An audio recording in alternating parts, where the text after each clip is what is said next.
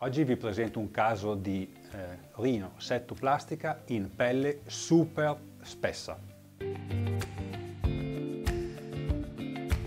Oggi abbiamo un caso di rinosettoplastica in una paziente che presenta una pelle super super spessa.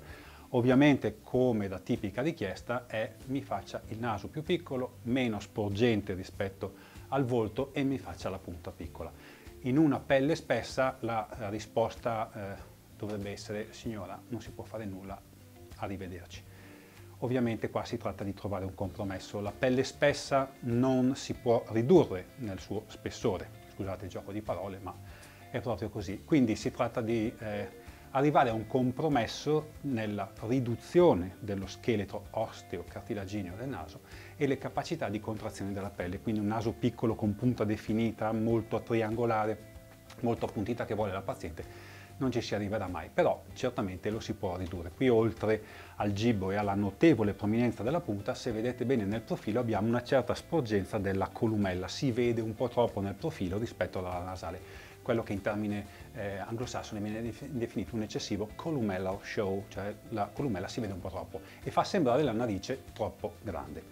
Ora, qui cosa è stato fatto? È stata fatta la tipica riduzione di sporgenza del naso, quindi gibbo, eh, corretto, con ottenimento di un profilo rettilineo e la deproiezione della punta, quindi l'arco delle due cartilagini alari è stato ridotto nella sua prominenza, nella sua sporgenza.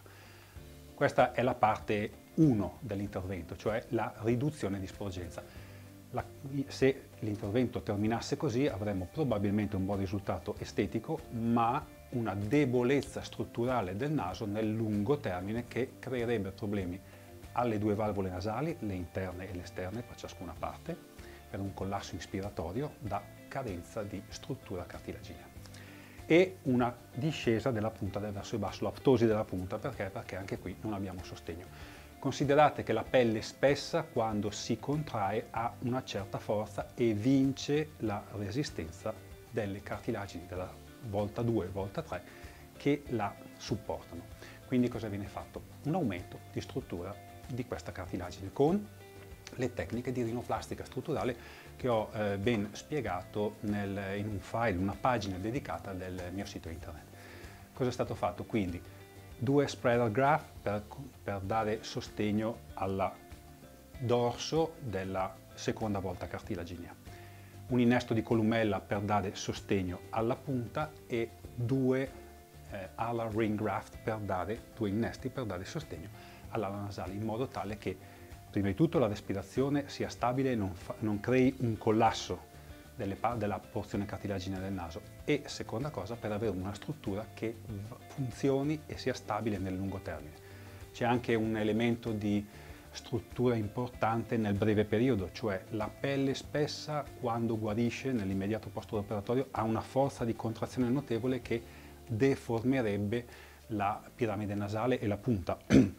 Lo scopo degli innesti è contrastare questa forza e rendere stabile l'effetto estetico e la forma estetica e le dimensioni che ci sono date al termine dell'intervento. L'intervento è stato eseguito con approccio open, quindi rinoplastica, rinosettoplastica aperta, è stato corretto anche una deformità del setto nasale, senza tamponi, anestesia generale, intervento di circa due ore di tempo in ricovero day surgery, quindi pomeriggio a casa.